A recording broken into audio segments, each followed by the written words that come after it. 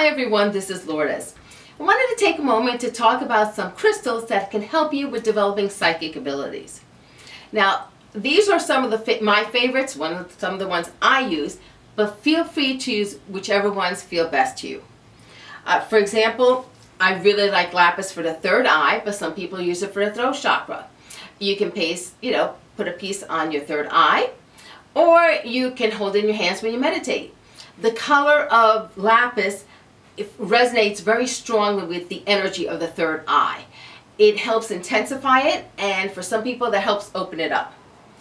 Selenite is definitely one of my favorites. But with selenite, what I like to do is either massage my third eye or place it on my crown chakra. I find there's a deep connection between the crown chakra and the third eye. The more open my crown chakra is, the more my psychic abilities increase. So placing this above my crown chakra helps me with that.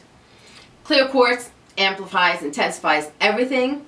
You can meditate with it, put it on your third eye, and it may give a kick to it. So please be aware, if you're using something like clear quartz, it may become too intense. Then if it is too intense, take it off of it, hold it in your hands, meditate with it, but don't put it on the third eye. Labradorite, one of my favorites. Labradorite brings a transformational energy in, and with that, I find it helps strengthen the walls of the chakra. And I know that sounds kind of odd, but it strengthens it so that it can open up more. And it's, some, it's a very different feeling. So please, when you try it, let me know what your experiences are with any of these crystals, but especially with labradorite. Celestite is another one of my favorites. Now this one I like to use in my throat chakra because it helps up helps open up my ear chakras. And most people don't realize you have ear chakras, but the ear chakras are the ones where you can start your uh, developing your clairaudience. I've picked up music that I know is not from this planet in different places when I've used pieces like celestite on my throat chakra. All of a sudden the ears just pop right open. And for some people it may be more subtle. You may hear like a whisper and you have to pay attention. But keep using it. It's one that may not do it immediately, but with time you start feeling and sensing the differences. Amethyst is another one. People like it for the third eye. I like it for my crown chakra. It's another one. It helps bring in that purple ray, which I really want in my body. And it, I, what I say, it causes an expansion of my psychic abilities. Sodalite for dream work is wonderful. Place it under your pillow at night or in your pillowcase. And before you go to bed, ask a question. You know, what can I do about this or what should I expect? And see what happens. In the morning, start writing down ideas. I usually say it takes a week to two for some people to see a pattern emerging. For some people, maybe overnight you're going to get the answer. But for others, it may take a week or two.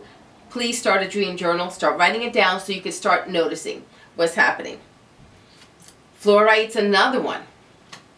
Fluorite has purple and green color and what I like about it, it connects the heart energy because the heart knows a lot more than the mind does half the time. And it connects the crown chakra. So you have the two chakras connecting and all of a sudden they're communicating a lot better. So you're able to receive the information and understand it on a soul level of what you need to do or what is happening, especially with psychic ability. I, and angelite. Uh, this one is a much softer vibration than the other stones I've mentioned. The other stones all, except for Celestite, have a little bit more of a kick. Angelite helps you connect with your angels, just like the name.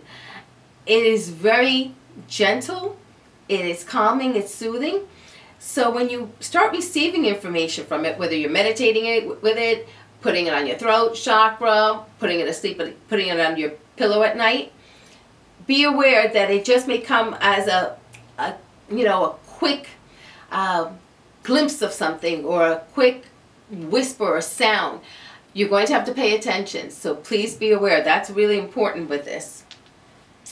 One picture, one crystal I don't have here, but it's going to be in a picture above my head in this video, is azurite. I like azurite and I like apatite, both crystals for the third eye and the throat chakra. Azurite is more for the third eye, and azurite is a, a deep blue in color. In fact, it reminds me of the night. When I have used azurite, it has just, it can, it felt like I had a headache. It was so strong for me. So please be gentle. Don't, you know, if it's too strong, take it off, give it a break, or try another azurite crystal because it really can feel like there's a bolt of lightning going through.